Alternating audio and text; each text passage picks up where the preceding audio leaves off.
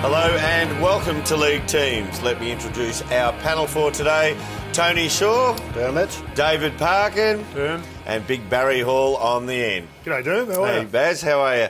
Boys, as we know, it's the biggest week in footy as the eyes of the country turn to the MCG and the AFL Grand Final. And of course, all of those eyes will be on a surprise inclusion which Fox Footy exclusively unveiled earlier this week. Let's look back on how they broke the news.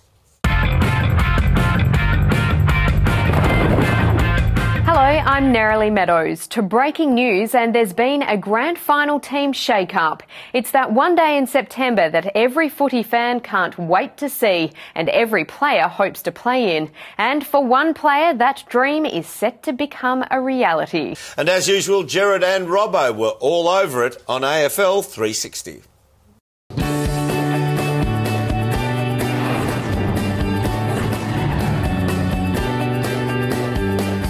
I'm Gerard Whateley, he's Mark Robinson. This is AFL 360, and that is footy from all angles. So, the AFL Grand Final, it dominates discussions at the moment, but the agenda is set by the shock inclusion, the hmm. remarkable story of an unknown player Yep. who's come into the favourite to take the Premiership Cup home. That's right, Gerard. I suppose the front page of the Herald Sun says it all. There it is, there. What a story. You wrote this story, Robbo, and to read it was to think of a player completely unknown until this moment who set out onto the MCG. And I wouldn't normally say this, but the fate of the grand final is in this player's hands. That's putting pressure on this kid, Gerard. But how exciting is it going to be? Yeah, sure is the biggest game in the AFL calendar, the grand final at the MCG, as per usual. Now, guys, let's have a look at the last minute inclusion for this grand final as they come out the front here. And it's pretty big call, sorry. It is. It's, it's a massive call, matter of fact. But grand final day, you know, things, anything can happen on grand final day. We know that, Dermot. And uh, I look at the stats of this rookie, and I think he's got what it takes to really fire up on the day. One thing about it, he's had an interrupted preparation. He might just run out of steam to see how it goes through the whole game, Parko. Oh, I, I disagree, sure. I reckon he's, I reckon he's got a good motor. Um, he's been dominating in the reserve grade for quite a while now, so he's certainly earned his spot. He's going to have an impact going forward. I, reckon he's a, a real good inclusion.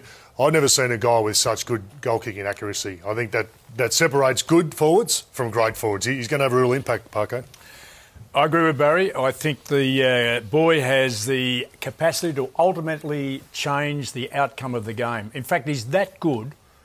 I reckon he might even be a nomination for the medal, for the Norm Smith medal. Oh, big call, big talk here from the panel. I do agree with you. Having a look at what we have seen presented here, uh, this young fella's coming on the biggest moment in footy, the biggest stage he will be wheeled out. And let's remember, there have only been five people debut in a grand final. Now, three of those five debutants have gone on to be premiership winners. So, will it happen again this weekend? We'll find out very, very soon. This has been a Fox Footy production for Fox Sports.